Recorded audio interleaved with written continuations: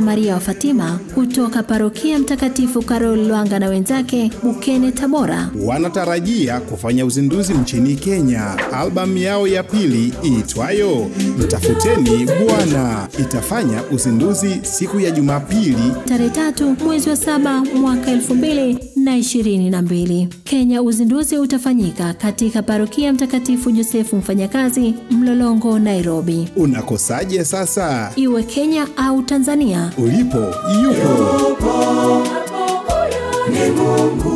Tunashukuru sana kwa kutazama vipindi vyetu. Tunakuomba usubscribe ili upate mengi zaidi. Asante kwa kuitazama Imba Nasi.